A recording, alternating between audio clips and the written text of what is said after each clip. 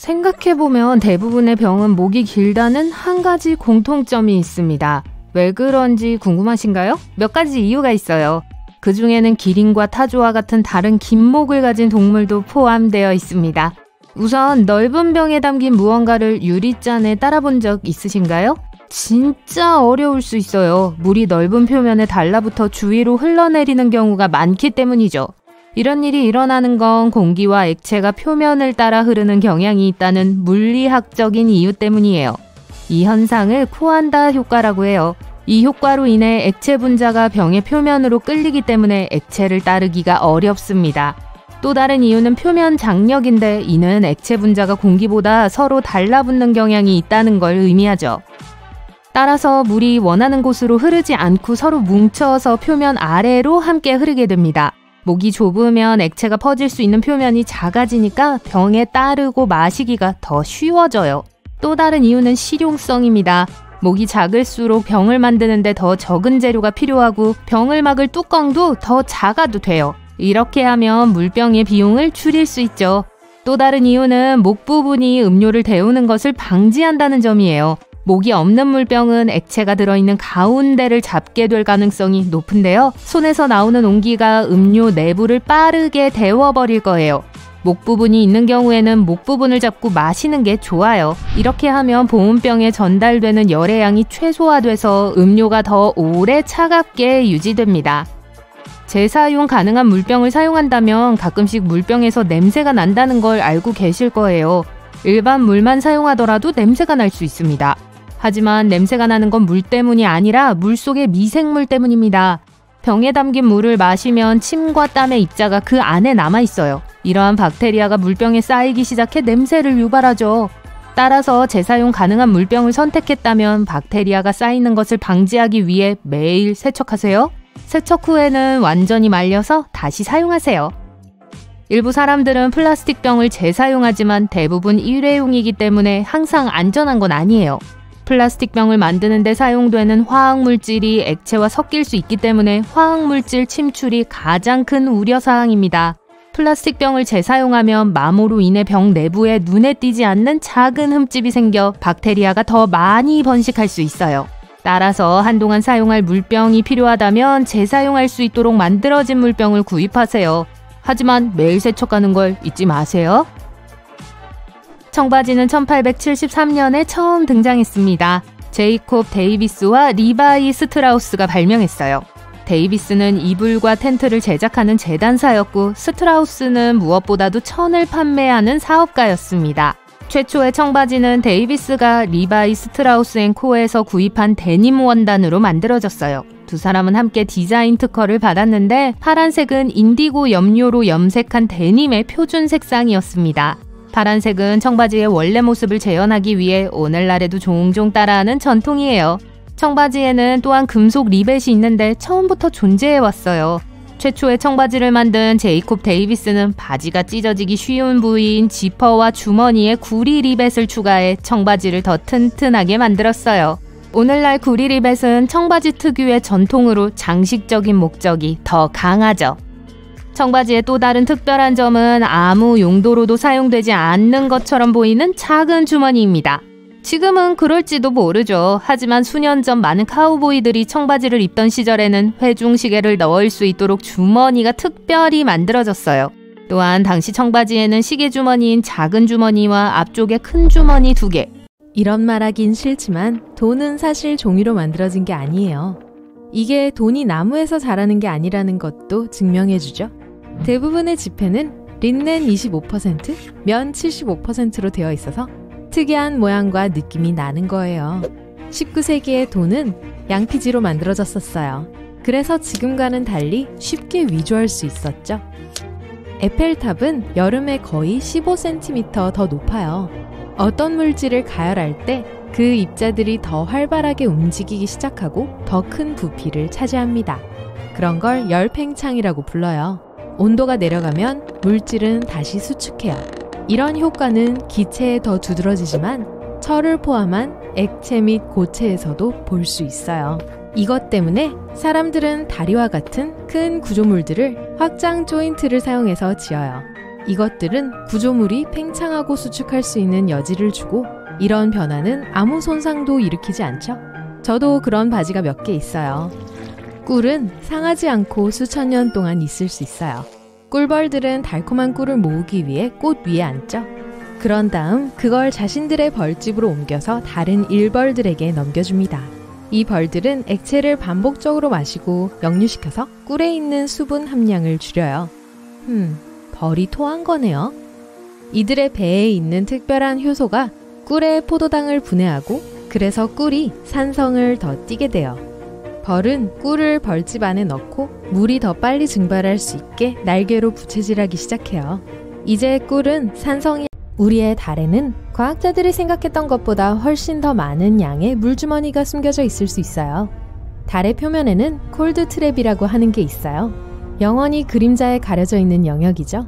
만약 달의 극 중 하나, 특히 남극 근처에 서 있다면 여러분은 3만 9천 제곱킬로미터의 그림자를 사방에서 볼 수 있을 것입니다. 폭이 1cm에 불과한 작은 콜드 트랩도 있고 더 큰 트랩은 수백, 수천 개가 있어요. 이 지역은 영원한 어둠 속에 있었으며 심지어 수십억 년 동안 약간의 햇빛도 받았던 적이 없었을지도 몰라요. 그리고 이제 과학자들은 콜드 트랩이 우리가 생각했던 것보다 훨씬 더 많이 숨어 있을 거라고 생각해요. 10원짜리보다 크지 않은 작은 얼음 조각들까지 포함해서요. 하지만 여전히 우주 비행사들은 이 물을 마시거나 로켓 연료로 사용할 수 있을 겁니다. 물의 대부분은 유리나 달 표면의 결 사이에 모일 수 있어요. 한 이론에 따르면 달 표면에 4만 제곱킬로미터의 물을 저장할 수 있는 수용력이 있을 거라고 해요. 하지만 누군가 직접 달에 가거나 지표면을 파헤칠 탐사선을 보내기 전까지는 아무도 그 사실을 증명할 수 없어요. 달은 완전히 하얗고 색이 없지 않습니다. 1969년에 이 달에 착륙한 아폴로 우주 비행사들은 달이 약간 갈색빛이었다고 했어요. 고지대에는 노랗고 희미한 연분홍의 흔적이 있어요. 달의 표면에는 티타늄이나 철과 같이 다양한 주머니 한 개 등 총 4개의 주머니만 있었습니다. 많은 지퍼에는 YKK라는 글자가 새겨져 있는데요. 요시다 제조 주식회사로 번역할 수 있는 회사명을 나타내는 약어입니다. 이 일본 회사는 세계에서 가장 큰 지퍼 제조업체예요. 생산하는 모든 지퍼에 이니셜을 붙이죠. 이는 전 세계 지퍼의 약 절반에 해당합니다. 그래서 다른 어떤 지퍼보다 이 회사의 지퍼를 더 자주 볼 수 있어요. 청바지뿐만 아니라 경찰관 제복도 파란색입니다. 최초의 공식 경찰관은 19세기 런던에서 등장했어요. 군인들이 이미 착용하고 있던 빨간색, 흰색 제복과 대비를 이루기 위해 파란색 제복을 입게 됐죠. 그로부터 20년 후 미국에서 경찰 제복이 채택됐고 경찰도 그 패턴을 따랐습니다. 어두운 시간에 잘 보이지 않고 경찰관이 눈에 띄지 않고 사물과 사람들을 관찰할 수 있는 좋은 색상으로 입증됐기 때문에 오늘날에도 파란색 제복은 여전히 사용되고 있어요. 또한 어두운 소재라 얼룩도 잘 보이지 않고요. 그리고 경찰관이 파란색 옷을 입는다는 걸 누구나 아는데 굳이 바꿀 이유가 있을까요? 이 작은 흰색 골프공에는 보조개가 있습니다. 이 보조개는 그냥 아무렇게나 있는 게 아니에요. 처음에 골퍼들은 매끄러운 공을 가지고 플레이했습니다. 하지만 시간이 지남에 따라 공에 구멍이 뚫리고 손상됨과 동시에 공이 훨씬 더 멀리 날아가기 시작했어요. 그 이유는 바로 공기역학 때문입니다. 이 홈들은 공의 주위에 공기가 더 원활하게 흐르게 해서 더 멀리 날아갈 수 있게 해요. 그래서 이 아이디어가 채택돼 공의 사방에 보조개가 생겨 더 먼 거리를 날아갈 수 있게 됐어요. 때때로 새들은 바다 건너 먼 곳으로 갈 때 며칠을 날아갈 수도 있습니다. 저는 새들이 도중에 어떻게 잠을 자는지 항상 궁금했어요. 알고 보니 여러 가지 방법이 있더라고요. 어떤 새들은 뇌의 절반은 작동하고 나머지 절반은 잠을 자는 반수면 상태를 유지합니다. 저처럼요. 그런 다음 반대로 전환해서 나머지 절반이 잠을 자죠. 다른 새들은 하루 종일 짧은 낮잠을 자기도 합니다. 평균적으로 낮잠은 약 9초 동안 지속되는데 그 시간 동안 새는 그냥 쉬고 있는 거예요. 이렇게 하루를 보내면 그 시간들이 합산돼서 새의 수면 시간이 되죠. 말발굽은 말을 위한 실제 매체에 따라서 우리는 더 천천히 혹은 더 빨리 글을 읽습니다. 평균적으로 사람들은 종이에 쓰인 글보다 화면에 글을 읽을 때 속도가 10%더 느려져요. 게다가 컴퓨터 화면을 볼 때는 눈을 덜 깜빡여요. 사람들은 1분에 20번 정도 눈을 깜빡이는데 스크린 앞에 있을 때는 분당 7번 정도로 내려갑니다. 라디오의 발명은 대단한 사건이었지만 5천만 명의 청취자를 확보하는데 38년이 걸렸어요. 현대와 비교하자면 아이팟은 같은 수의 사용자에 도달하는데 3년이 걸렸습니다. 스냅챗에 유령 로고가 있는 이유는 무엇일까요? 스냅챗 설립자 중 한 명인 에반 스피겔에 따르면 그 상징적인 로고는 스냅챗을 시작하기 훨씬 이전에 구상되었다고 해요. 먼저 피카부라고 하는 사라지는 이미지 메시지 앱을 만들었어요. 로고가 이름에 영감을 준 것인지 이름이 로고에 영감을 준 것인지 여부는 분명하지 않아요. 스피겔은 사용자가 이 앱을 통해 보내는 이미지의 일시적인 특성을 표현하고 싶었기 때문에 우리 모두 알고 있는 그 유령 이미지를 선택했다고 해요. 일단 이미지를 한번 보면 순식간에 사라져버리죠. 마치 로고에 있는 친근한 유령처럼요. 스피겔은 어느 날 저녁 그 로고를 생각해냈어요. 다른 인기 앱의 많은 로고를 훑어보다가 그는 그중 노란색 로고가 하나도 없다는 걸 깨달았어요. 그래서 노란색을 자신의 디자인에 사용하기로 했습니다. 2011년 로고는 두 개의 짧은 팔, 둥근 머리, 그리고 혀를 내밀고 웃고 있는 유령이었어요. 이건 할로윈 복장을 연상시켜요. 2013년 유령 얼굴이 사라졌어요. 스냅챗 측은 이것이 모든 사용자가 그 앱의 얼굴임을 표현한다고 설명했어요. 2019년 디자이너들은 유령의 윤곽을 더욱 어둡고 두껍게 만들었는데 사용자들은 별로 탐탁치 않게 생각했어요. 로고 얘기가 나와서 말인데 파이어폭스 로고는 여우가 아니에요. 이름 때문에 사람들이 흔히 오해를 하죠. 하지만 로고로 사용하는 귀여운 털복숭이 동물은 레서판다예요. 최초의 컴퓨터 마우스는 1960년대에 등장했고 플라스틱이 아니라 나무로 만들어졌습니다. 직사각형 모양의 정말 쥐처럼 생겼기 때문에 그런 이름을 얻게 됐어요. 또한 뒤에 코드가 달려 있어서 쥐 꼬리를 연상시키기도 했어요. 비눗방울이 둥근 이유는 이렇습니다. 비눗물과 같은 얇은 막이 가스, 예를 들어 공기를 가둘 때 이러한 현상이 발생하는 것을 볼 수 있어요. 얇은 막 속에 분자들은 서로 끌어당기고 이것이 막을 유지시켜주죠. 동시에 그래서 막이 가능한 한 작은 면적으로 축소돼요. 그리고 볼륨을 가진 가장 작은 영역은 구체예요. 그래서 막은 굴을 덮기 위해 수축하고 안에 공기가 갇혀 있기 때문에 더 이상 수축할 수 없습니다. 팝핑 캔디 맛있죠? 동물의 말굽에 부착합니다. 말발굽은 말이 자연적으로 적응하지 못하는 부자연스러운 재료로 만들어져 거친 포장도로와 같이 특히 거칠고 손상되기 쉬운 환경에서 발굽을 보호하기 위해 사용돼요. 말굽은 발굽에 못을 박았기 때문에 귀개한 모양을 하고 있습니다. 말의 발굽 중앙은 예민하기 때문에 누군가가 가운데 말굽을 붙이려고 하면 말들은 고통을 느낄 거예요. 하지만 발굽의 측면은 통증을 느끼지 않기 때문에 말굽은 둥글고 가운데가 비어 있습니다. 가짜 패션 손톱을 붙이는 것과 비슷해요. 책을 읽으면 가끔 졸음이 쏟아지고 수면에 어려움을 겪는 사람들은 종종 이 점을 이용해서 저녁에 잠들기 위해 책을 읽습니다.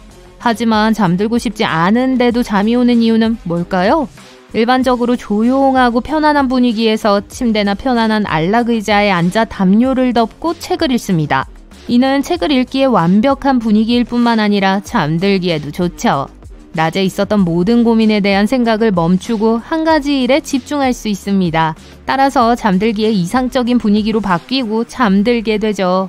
대부분의 샴푸는 머리를 두 번 감아야 한다고 말하지만 사실일까요? 아니면 제품을 더 많이 사용하고 더 자주 구매하도록 유도하기 위한 방법일까요?